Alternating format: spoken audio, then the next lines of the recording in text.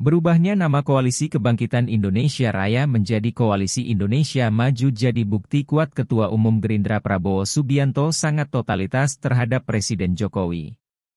Bergantinya nama koalisi tersebut ditengarai membuat Prabowo akan mendapatkan keuntungan yang berlimpah dari sisi dukungan masyarakat Indonesia.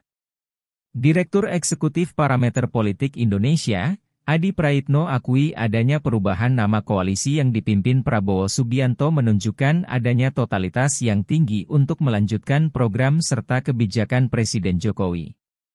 Di dalam koalisi tersebut juga diisi oleh parpol koalisi pemerintahan Presiden Jokowi yakni Gerindra, Partai Kebangkitan Bangsa, Golkar dan Partai Amanat Nasional. Maka dari itu, tidak mengherankan nama koalisi Prabowo sangat mirip dengan kabinet Presiden Jokowi yang saat ini tengah berjalan. Perubahan nama koalisi tersebut merupakan upaya nyata dari Prabowo Subianto untuk terus merebut simpati dan dukungan politik dari para pendukung Presiden Jokowi.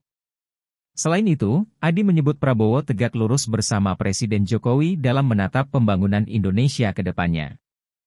Terima kasih sudah nonton. Jangan lupa like, subscribe, dan share ya.